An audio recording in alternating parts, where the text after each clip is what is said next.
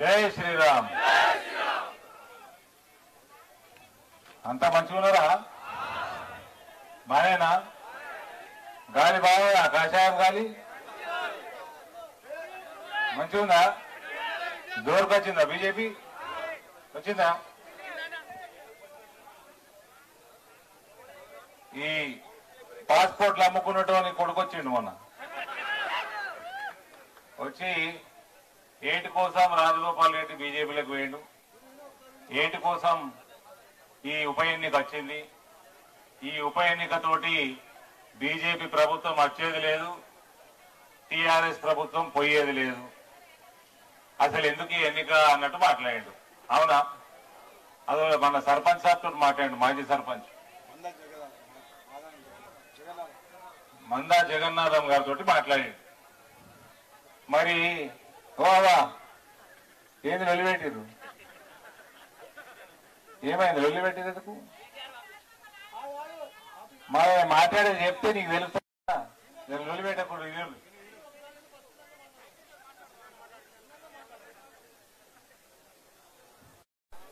ఈ పాస్పోర్ట్లు అమ్ముకునేటోని అడుగుతా ఉన్నా. మరి రాజగోపాల్ రెడ్డి ఏటి కోసం కాంగ్రెస్ వేయండు? ఏటి కోసం రాజీనామా చేసిండు? కాంగ్రెస్కి వెళ్ళి బీజేపీలోకి వచ్చి? ఇక్కడ దీంతో బీజేపీ సర్కార్ వచ్చేది లేదు టీఆర్ఎస్ సర్కార్ పోయేది లేదు అంటే మరి రెండు వేల నాలుగు నుంచి రెండు వేల పద్నాలుగు దాకా నువ్వు మీ అయ్యా నీ బాపు నీ మామ నీ చెల్లె నీ అన్న నీ బావ బామ్మది పీకనికి రాజీనామా చేశారు.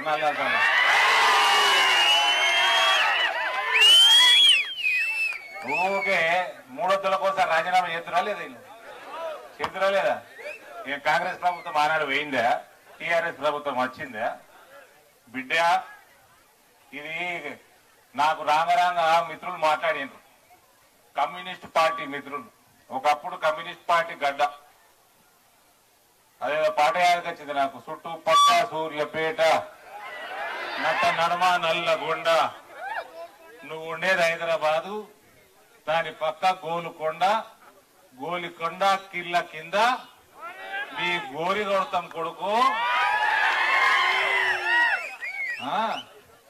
నీ గోరు కొడత గోరి కడతానికి రాజగోపాల్ రెడ్డి రాజీనామా చేసి నీ టిఆర్ఎస్ పార్టీని బొందవేయడానికి రాజగోపాల్ రెడ్డి రాజీనామా చేసి ఉద్యమం కాషాయ ఉద్యమం పెంచనీకే తెలంగాణని కాషాయంతో కమ్మయ్యనీకే రాజగోపాల్ రెడ్డి ఉద్యమం చేసింది మోడీ గారి సర్కారు తెలంగాణలకి తీసుకురానీకే రాజగోపాల్ రెడ్డి రాజీనామా చేసిండు.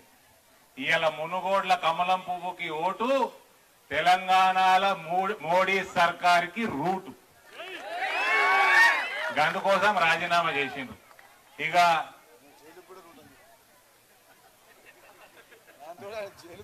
ఆరు ఆల్రెడీ ఆంధ్రవే ఉన్నారు. జైలుకి పైరం అయినరు. వాళ్ళ ఇంట్లోకి వెళ్ళి లిక్కర్ రానట ఎవరో లిక్కర్ రానట అయితే ఇక్కడ కమ్యూనిస్టు కమ్యూనిస్టులు అంటే we all know the communist party leaders as fighters communist party నాయకులు ఒకప్పుడు ఫైటర్ల లాగా మనం గుర్తిస్తుంటుంది ఇవాళ కేటీఆర్ అక్కడోడు ఇక్కడోడు బౌన్సర్లు తయారైంది వీళ్ళు బౌన్సర్లు తయారైంది అసలు నేను భూమి కోసం భుక్తి కోసం పీడిత జనాల దొరల నుంచి విముక్తి కోసం పుట్టిన కమ్యూనిస్ట్ పార్టీ నాయకులు రజాకర్ల మీద కొట్లాడిన కమ్యూనిస్ట్ పార్టీ నాయకులు గడ్డ ఇది. నల్గొండ గడ్డ మీదకి వెళ్ళి రజాకర్లతోటి అత్యధికంగా కొట్లాడిన గడ్డ మీద అటు దొరల మీద భూస్వాముల మీద గడిలకి వ్యతిరేకంగా కొట్లాడిన కమ్యూనిస్ట్ పార్టీ వాళ్ళు ఏంటి కోసం ఇవాళ టీఆర్ఎస్ పార్టీకి సపోర్ట్ చేస్తున్నారు అని కమ్యూనిస్టు పార్టీలో ఉన్న నాయకుల పిల్లగాళ్ళు అంటే అప్పటి నాయకులు ఇప్పుడు ఉన్నోళ్ళు కాదు ఏంటి కోసం వీళ్ళు దొరలకి మళ్ళీ దొరలకి సపోర్ట్ చేస్తున్నారు అని అర్థం కాక నాతో మాట్లాడుతూ ఉన్నారు నా దోస్తులు చాలా మంది ఉన్నారు. ఎవరికి అర్థమైతే లేదు కమ్యూనిస్టులు ఏంటికి నాయకులు ఫైటర్లుగా పోయి బౌన్సర్లుగా మిగిలిపోయినారు. ఇవాళ నువ్వు మూడెకరాల పొలం పొలం ఇచ్చుంటే దళితులకి గిరిజనులకి మూడెకరాల పొలం ఇచ్చుంటే కమ్యూనిస్ట్ పార్టీ వాడు పోయి టిఆర్ఎస్ పార్టీకి సపోర్ట్ చేస్తుందంటే దానికి అర్థం ఉన్నది. ఇలా ఈ ఈ ప్రాంతంలో మొన్న ఇదే ఈ వీడియో వైరల్ అయింది కదా? మన జగన్నాథం అన్నతోడు మాట్లాడేది. అయింది కదా?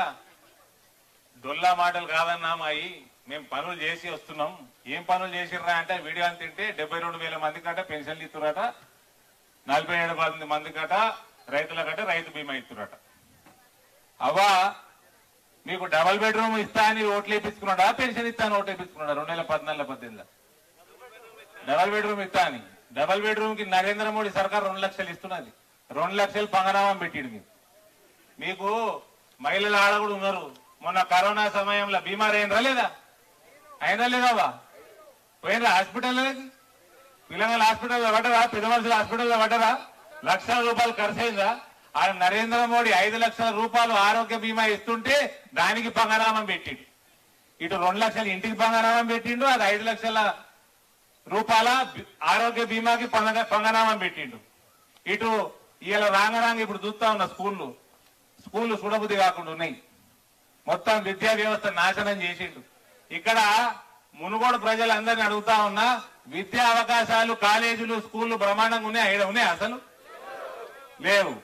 ఎవరిని అడిగినా ఈడ ఒక మంచి స్కూల్ లేదు సార్ ఓ మంచి కాలేజీ లేదు సార్ గ్రాడ్యుయేషన్ చేద్దామంటే యూనివర్సిటీ దిక్కు లేదు ఇక్కడ ప్రైవేట్ కాలేజీల వాళ్ళు విచ్చల విడిగా ఫీజులు ఫీజులు వసూలు చేస్తా ఉన్నారు. దా ప్రైవేట్ కాలేజీలలో పార్ట్నర్షిప్ ఓవరదంటే కల్వకుంట్ల కుటుంబం వాళ్ళకి విద్య లేదు. వ్యవసాయం ఏమనంటే రైతు బంధు ఇస్తానంటున్నాడు. రైతు బంధు ఇచ్చుడు దేనికయ్యా? నువ్వు ఏమైనా ఎనిమిది సంవత్సరాలలో బోనస్ ఇచ్చినవా? నువ్వు ఎనిమిది సంవత్సరాలలో ఏమైనా పంటకి నష్టపరిహారం కట్టించినవా? నీ బాబు నీ పాస్పోర్ట్లు అమ్ముకున్నాడు చూడు అయ్యా నీ అయ్యా కేటీఆర్ ఉచిత ఉచిత ఫర్టిలైజర్. ఇరవై నాలుగు లక్షలు ఇరవై ఆరు లక్షలు ఫర్టిలైజర్లు పొటాషియలు మటాషియలు ఏమేమైతే అన్ని ఫ్రీ అన్నారు. అని ఆరో సంవత్సరం అయింది. ఇలా ఇస్తున్నాడా? ఇవాళ పంటకి నష్టపోతే పంట బీమా పథకం ఉన్నదా? ఏ రైతుని ఏ రకంగా ఆదుకున్నాడు? ఏ రైతుని ఏ రకంగా ఆడుకున్నాడు? ఏమి లేకుండా ఈ ఈ ఇలా ముచ్చట ఇంటా ఉంటే ఇప్పుడు వ్యవసాయం బాయ్ విద్య బాయ్ ఇక్కడ హాస్పిటల్ ఉన్నాయా? గర్భిణీ మహిళలు అనేక మంది గర్భిణీ మహిళలు పడుతున్న వ్యవస్థ ఏది ఉన్నదో వర్ణనాతీతం. అంత ఇబ్బందులు పడతా ఉన్నారు. గర్భిణీ మహిళలందరూ హాస్పిటల్ లేక. విద్య బాయ్ వ్యవసాయం బాయ్ వైద్యం బాయ్. బెల్ట్ షాపులు పెరుగుతున్నాయి. ఆ ధరణి పోర్టల్ అని మొత్తం రైతులు నాగమాగం చేసిండు భూములన్నీ నాగమాగం చేసిండు revenue bye. Law and order police వాళ్ళందరూ రజాకరం లెక్క వాడుతా ఉన్నాడు. అన్ని విషయాలల్లా మొత్తం నిండా ముంచి వీళ్ళ అయ్యా కొడుకుని చూస్తుంటే నాకు ఒక కథ యాదకొచ్చింది.